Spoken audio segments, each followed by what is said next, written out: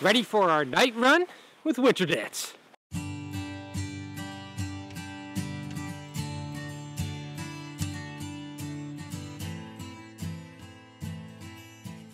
Hank, you are Iditarod racer and Yukon Quest extraordinaire.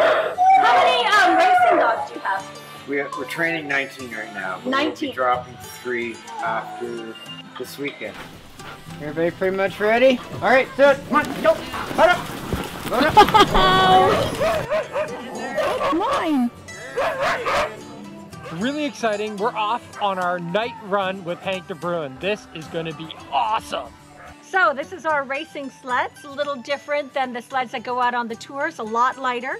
So anytime we're down a hill, just put pressure on the drag pad. Slow Right. your team right down. You're gonna be running eight dogs. Uh-huh. Uh, not sure what the trail's gonna be like, whether it's gonna be mushy or not. We've got our lead dog, Strawberry. I hear she's feisty, and I can tell. Oh, come on, Strawberry. They're getting feisty. Crazy, my go? Totally different experience with the race dogs. They're uh, just moving like mad. We were walking up this hill the other day. Look at it now. This is absolutely amazing. We are out here in Haliburton Forest. We are dog sledding, man. We're following Hank DeBruin. He is Iditarod and Yukon Quest finisher. Less than a thousand people in the world have ever done that. So it's pretty incredible to be out here watching an expert at work. Snack time for the dogs, snack time for Dave.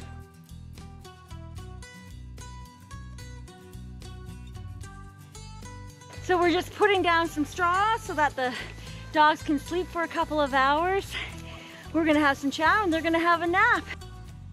This is really a, a once in a lifetime opportunity and I'm having so much fun, you know, getting bonding with the dogs and uh, getting out there. It's a whole different experience driving at night. A lot of fun. You guys did awesome. We're Iditarod ready. There you go.